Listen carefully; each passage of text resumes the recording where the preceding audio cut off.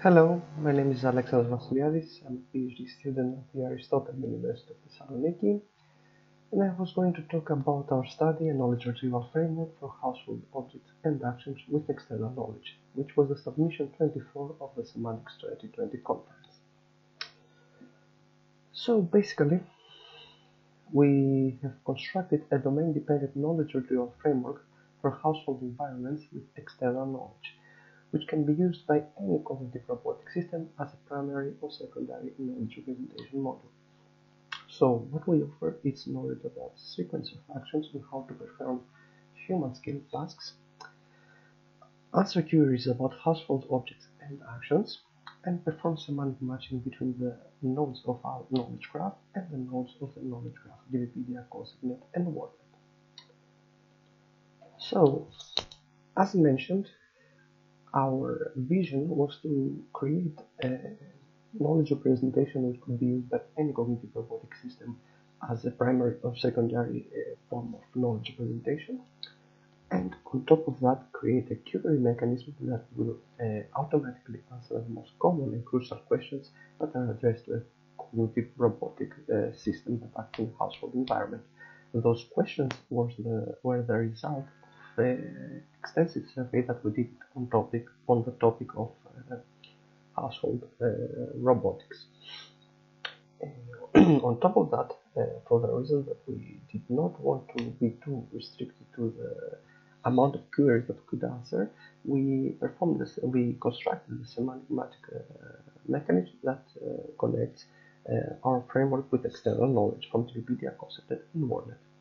And as a side effect, we managed to construct the largest ontology about objects, actions, and activities. So basically, our uh, ontology was inspired by the VirtualHome dataset, which is a dataset that contain, contains a sequence of actions about how to perform human-scaled activities. So what we did was to take their hierarchy and put them in a on the, in a form of representation that could be used as linked open data. So what you see here, which is the, the class activity, contains all the activities that are, were part of VirtualHome uh, dataset as well as the hierarchy between them. Uh, we need to mention that uh, there were more activities, but they could not fit into the pictures that we show. On top of that, we made some classes that would help this representation in order to answer our queries. And for this, we took the class step, which contains the steps that are part of each activity, and the uh, class step types, which contains the actions of each steps, and the object type uh, class which contains the uh, objects that are part of each step. To be more specific, here on the left we can see an instance of an activity which exists in the home dataset.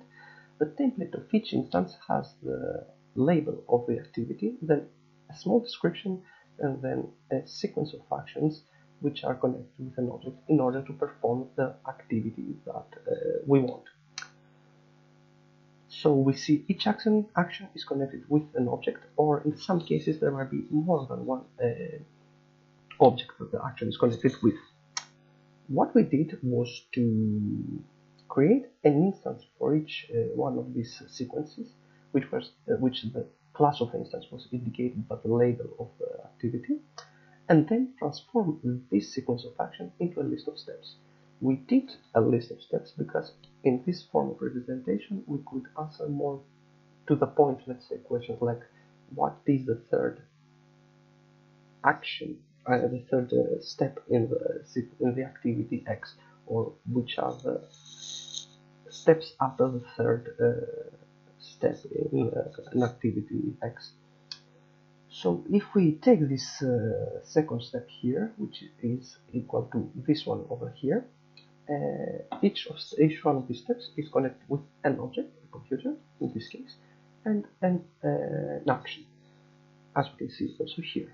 And the only more knowledge that it has in our uh, ontology was to give a natural language label for each object and for each action, which would be more uh, intuitive uh, for the intuitive to get as an answer for uh, the user.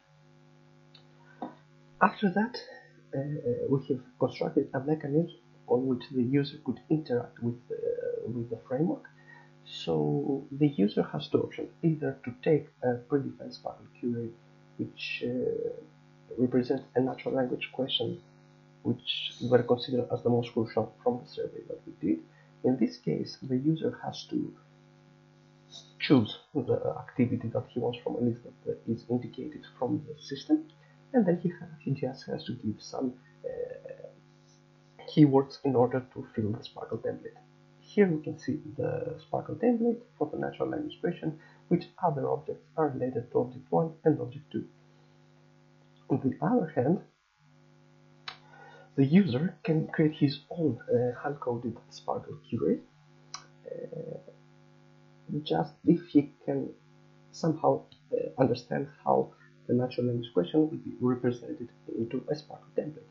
For instance, here uh, we have the SPARQL template for a for a uh, query, natural language query, what objects are needed for activity X. Looking at the architecture of our system, uh, the user could either uh, address a predefined SPARQL query or a custom-made SPARQL query to our uh, framework, then the first thing that our framework does is to look if there are or aren't any unknown keywords. If there aren't, the answers will be given immediately to the user. Otherwise, it will use the semantic matching mechanism that uh, searches uh, WordNet, DBpedia, and ConceptNet in order to return some recommendations that might exist in our knowledge base. Moving to the evaluation, we performed two different methods of evaluation. In the first evaluation, we gathered 42 subjects and they were given uh, some batches of the predefined SPARQL queries in order to evaluate them how much uh, they like the answers, let's say. Uh, so they were asked to, to, give a score to, from 1 to 5, with 1 being the worst uh, for each question, uh, in order to, to show their satisfaction, let's say, about the answers from our system. So basically, we want them to use to evaluate our system in a manner of common sense, uh, based on on their own common sense, and we achieved an 82 overall score to this uh, task. In the second method evaluation of evaluation, we choose five subjects which were not part of the first uh, evaluation in order to answer the same questions as the first evaluation and we gathered some uh, sets of gold standard answers. Then 34 subjects which were part of the first evaluation were given the same questions as the five people here and the gold standard datasets in order to answer uh, those questions. And we compared these answers with what our system returns. And because our system shorts its answers, uh, we see our top 1 scores, top 3 scores, and top 5 scores. I need to mention that uh, there was a time span of 40 days between the first and the second evaluation, so we doubt that any of these 34 uh, persons remember any questions from the first evaluation.